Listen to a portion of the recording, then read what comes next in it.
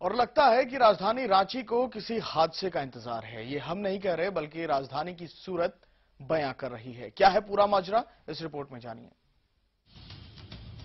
राजधानी रांची में हादसे का है इंतज़ार।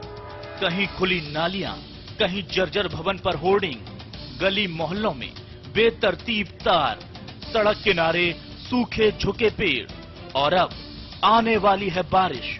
हादसे की आशंका से सहमे हैं लोग। राजधानी रांची में सड़क किनारे कई ऐसे सूखे और झुके पेड़ हैं, जो आंधी और बारिश में किसी बड़े हादसे को अंजाम दे सकते हैं। ऐसे कई पुराने मकान हैं, जिस पर भारी भरकम होर्डिंग्स लगे हैं। अब सड़क किनारे इस बड़े गड्ढे और खुले नाले को देखिए। इतना ही नहीं, शहर के कई इलाकों में बिजली के तार बेतरतीब ढंग से लगे हैं। लोगों को आशंका है कि बारिश का मौसम आ रहा है और तेज आंधी और बारिश से कभी भी बड़ा हादसा हो सकता है। डर तो हमेशा लगता है। हमेशा लगता है कि टूट के गिर जाएगा तो दीवार टूट जाएगा। बच्चा लोग था हाँ।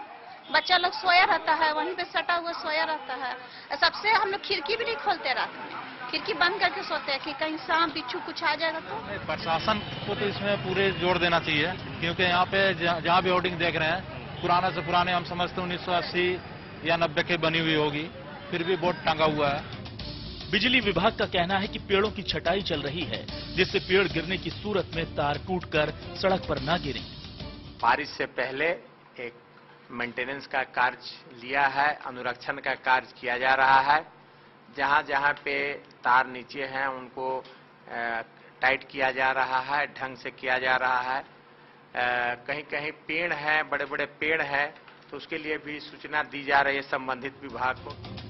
रांची के उपायुक्त ने भी भरोसा दिलाया कि नगर निगम के अधिकारियों से बात कर जल्द ही निदान निकाल लिया जाएगा। ये सभी मामले बेसिकली निगम से संबंधित है और निगम एक स्वायत्त संस्था है।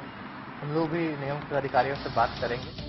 बहरहाल समय रहते समस्याओं का निपटारा होता है या नहीं ये तो बाद में पता चलेगा।